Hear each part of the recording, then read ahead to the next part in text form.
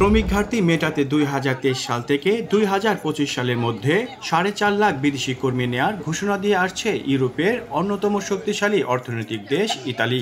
পূর্ব ঘোষিত গ্যাজেট অনুযায়ী, চলতি বছর দেশটিতে যেতে পারবেন এক লাখ একান্ন হাজার। এর জন্য আবেদনের সুযোগ পাবেন বাংলাদেশিরাও।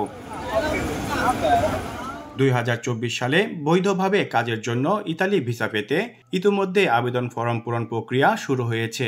গেল তিন অক্টোবর প্রকাশিত গ্যাজেট অনুযায়ী আবেদন জমার ক্লিক ডে ফেব্রুয়ারিতে হওয়ার কথা থাকলেও তা পরিবর্তন করে স্থায়ী ভিসার জন্য ক্লিক ডে নির্ধারণ হয়েছে আঠারোই মার্চ।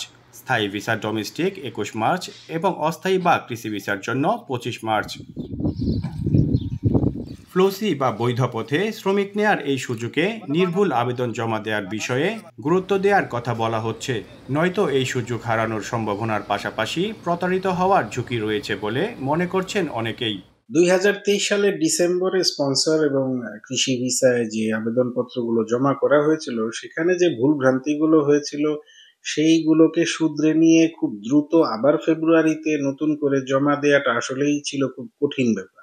বাংলাদেশিদের জন্য ভালো হয়েছে কারণ আবেদনকারীরা অন্তত পক্ষে অতীত ভুলের আলোকে নতুন করে সমস্ত কাগজপত্রগুলোকে দেখে শুনে বাছাই করে ভালো করে জমা দিতে পারবে এবং এতে করে বাংলাদেশিদের আসার পথ আরও সুগম হবে বলে আমি মনে করি। ইতালিতে বৈধ পথে শ্রমিক প্রবেশের এই সুযোগে ইউরোপের শ্রমবাজারে বাংলাদেশের গুরুত্বপূর্ণ ভূমিকা রাখতে পারে বলে মনে করছেন প্রবাসীরা। বৈধ পথে যদি ইতালি আসতে পারে মালিক যদি সঠিক থাকে তাহলে এসে কাগজও করতে পারবে এবং সেই মালিকের অধীনে যদি কাজ করতে পারে, তাহলে কাজ সহজে পেয়ে যাচ্ছে। ইতালিতে অদক্ষ শ্রমিকের পাশাপাশি দক্ষ শ্রমিক ঢুকতে পারলে বাংলাদেশে সুনামের সাথে রেমিটেন্স প্রবাহ বাড়বে বলেও মনে করছেন রেমিটেন্স যোদ্ধারা। তবে দালাল চক্র থেকে সাবধান থাকার আহ্বান তাদের।